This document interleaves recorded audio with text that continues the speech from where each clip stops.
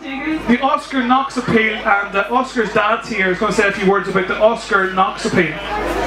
Hello everybody, um, I can just have your attention for one wee minute, I'll be as quick as I can. Um, my name's Stephen, my wee boy Oscar, he's three years old and he has cancer. And uh, he's doing really well, but we need to raise a lot of money to take him abroad for treatment that'll hopefully save his life. So if you could spare a few pounds, I'll be throwing the bucket for us. We've got these wee Oscar wristbands for the Oscar Knox appeal. Um, you might have seen the Celtic players are all wearing them. Uh, John Hartson tweeted a picture of one yesterday. Uh, Paddy Barnes was wearing one in his interview after his fight yesterday. When you see him scratching his head, if you look back at it on the RTE website, you'll see the wee wristband on.